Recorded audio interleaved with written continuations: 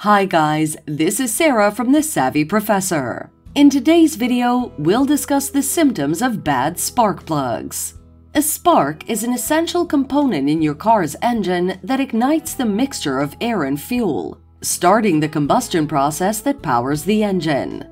Think of the spark plug as a matchstick, and the fuel-air mixture in your car's engine is like a gas stove burner.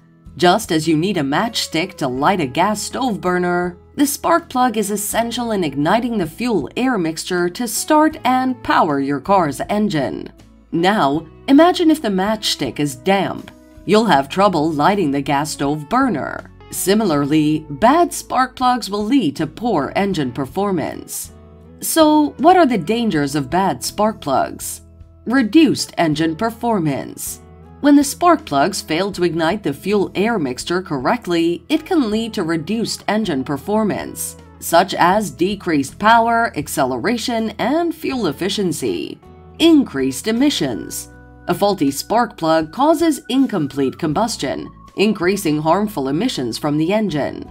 Engine damage.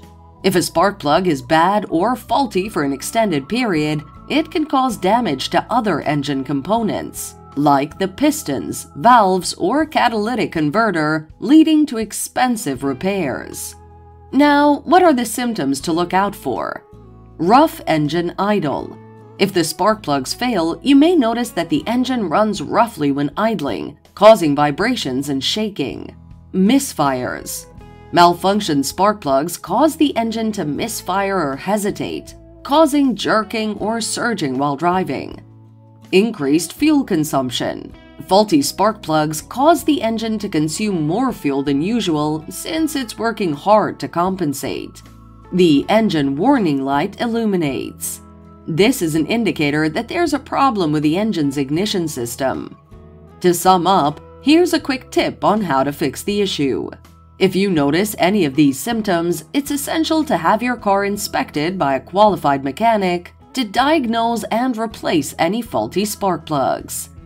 Thanks for watching!